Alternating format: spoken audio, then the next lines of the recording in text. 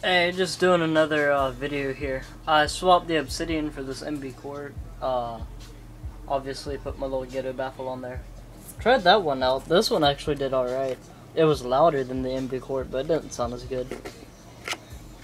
It got kind of sloppy. But uh, yeah.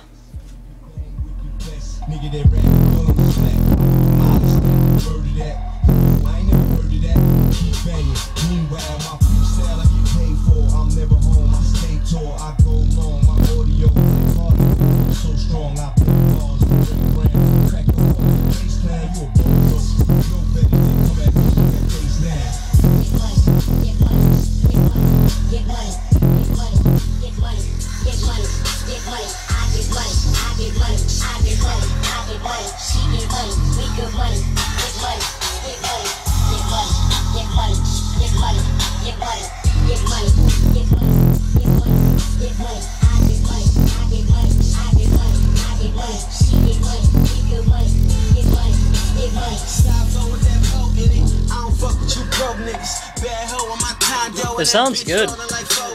Not that loud though. I just got a random playlist going on YouTube, so. Gotta skip through all the crap.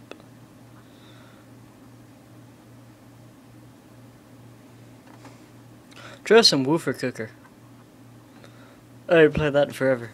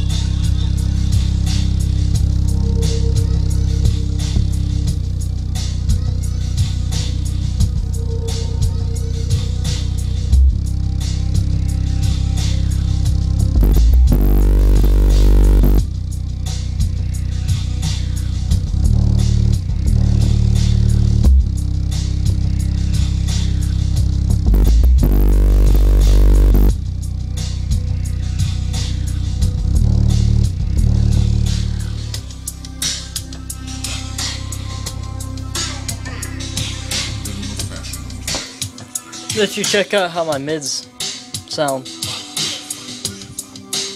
These things sound good. Expensive too. Probably isn't the best song to uh, really show them off with because it's been recorded in pretty low quality, but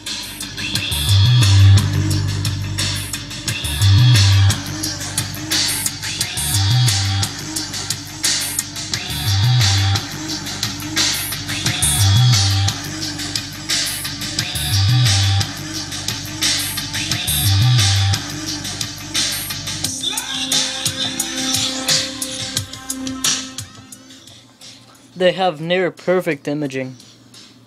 And uh, vocals are really clear kind of warm sounding obviously they're vintage. Um, working on when i get a job i'm gonna get a nice 1970s era pioneer amp. Uh, i'm strictly looking for an amplifier they're not one of the receivers and not sure what i'm gonna do for a sound processor but yeah, that's the video for now. I'll probably do another video later showing off the Pioneer. But y'all see what little 150 watt woofer can do. High efficiency for the win. Um, I guess I could do a little review of the Obsidian later. Uh, and I'll do a better video of the uh, MCS speakers. A little bit better sound quality demonstration. But, uh, yeah, that's all I got for now. Thanks for watching.